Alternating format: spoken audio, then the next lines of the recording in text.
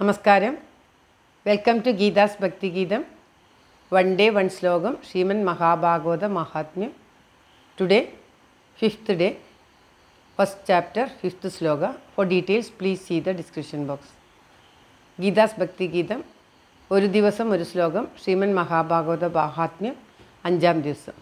ഒന്നാം അധ്യായത്തിലെ അഞ്ചാമത്തെ ശ്ലോകമാണിന്ന് പാരായണം ചെയ്യുന്നത്. ഓം നമോ ഭഗവതേ വാസുദേവായ ഓം ശ്രീ കൃഷ്ണ പരമാത്മനേ നമ. ഹരിശ്രീ ഗണപതയേ നമ. അവിഘ്നമസ്തു ശ്രീ ഗുരുഭ്യോ നമ. ഓം കൃഷ്ണം നാരായണം വന്ദേ. കൃഷ്ണം വന്ദേ വ്രജപ്രിയം.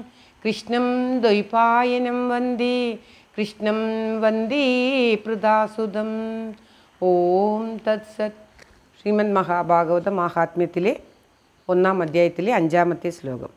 ഇഹ ഗോരീ കലൗ പ്രാപ്തി ജീവശ്ചാസുരതാം ഗത ക്ലേശാക്രാന്തസ്യ തസ്യൈവ ശോധനീ കിം പരായണം. ഇഹ ഗോരീ കലൗ പ്രാപ്തി ജീവശ്ചാസുരതാം ഗത ക്ലേശാക്രാന്തസ്യ തസ്യൈവ ശോധനീ കിം പരായണം. സൂതൻ നോട് ശൗനകാദി അടുത്ത ചോദ്യം ചോദിക്കുകയാണ്. നാലാമത്തെ ചോദ്യം ചോദിക്കുകയാണ്.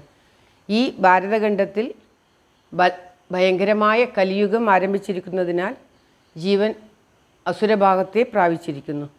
അതിനാൽ ബഹുവിധ പാപകർമ്മങ്ങൾ ഓരോ ജീവനും ചെയ്യുന്നു.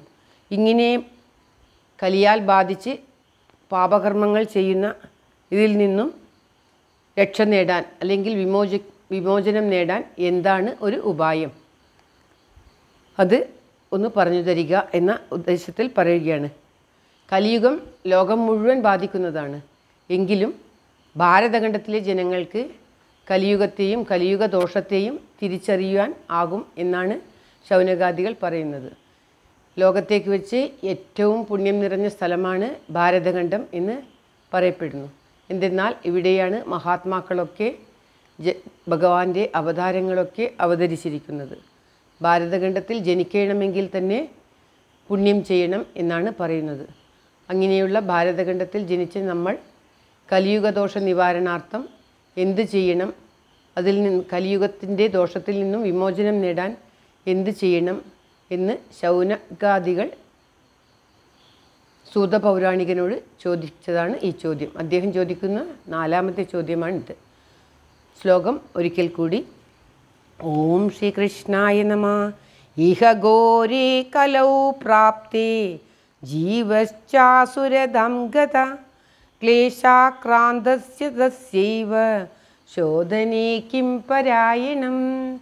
ഓം തത്സത് സർവത്ര ഗോവിന്ദനാമസങ്കീർത്തനം. ഗോവിന്ദ ഗോവിന്ദ.